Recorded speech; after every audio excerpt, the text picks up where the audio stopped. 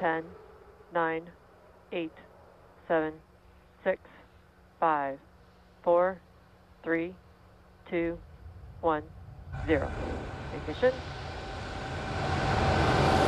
And liftoff.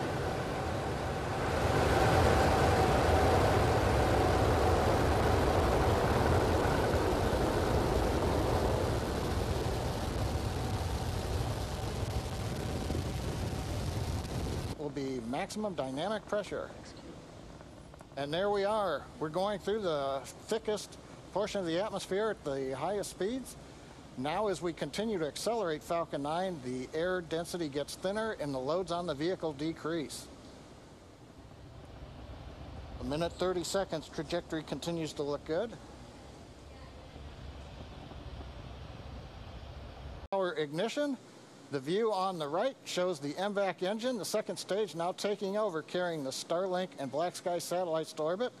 On the left screen, the first stage is continuing without power to coast to apogee, and you can see the large titanium grid fins beginning to open with the lights of the United States in the background as we slowly head up the eastern coast of America. You can see the clouds sort of lighting up there. Starting Stage one landing leg deploy.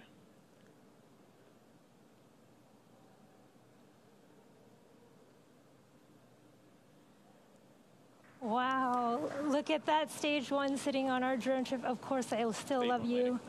That was a beautiful view of the stage one as it came down there, lighting the clouds up. And in just about 10 seconds here, we'll have second engine cut off there right on your screen.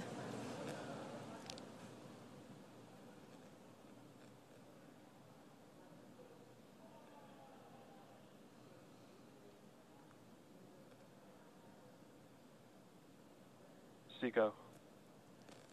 You ha- we've had confirmation of Expected loss of signal, second engine cutoff, and we're waiting for confirmation of good orbit out of this first burn here.